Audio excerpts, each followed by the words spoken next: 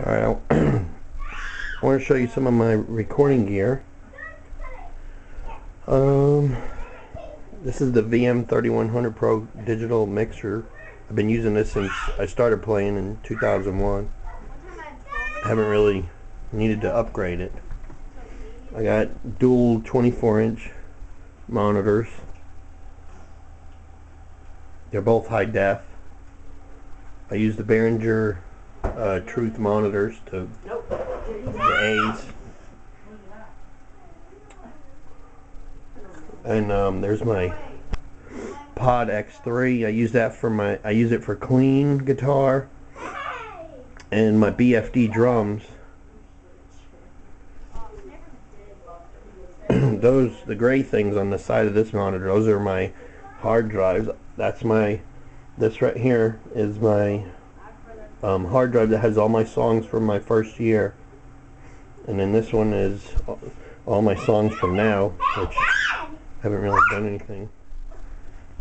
Um, that's my recording computer back here. And this is my computer for my drums. Um, this is my, I use this, uh, I use this for my subwoofer, for my guitar. And one of the greatest inventions is the Ampeg VH 140 motherfucking C. Yeah, you heard me. VH 140 fucking C. Look at that. No, there's my pedal board. See? Right here. I have one cable. Look. Look. Follow it. Look right there to no pedals. I have no pedals going to my Washburn.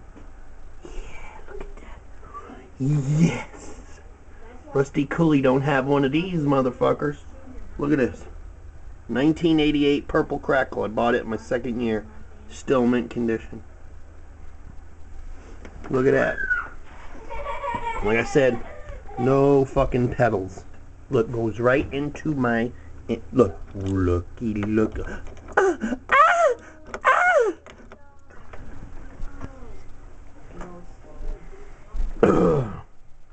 Did I tell you I had dual 25 inch monitors? And there's, oh, my kiss fountain. That's Shane. Hey Shane, say hi. Hi. Oh, and this is my Xbox 360 Elite. My gamer tag's X Joey Dahlia X. Like if anybody wants to play. Alright. I get everything? I think Dad, I got everything. Shut the fuck up! Fucking I'm fucking recording! I I'm recording!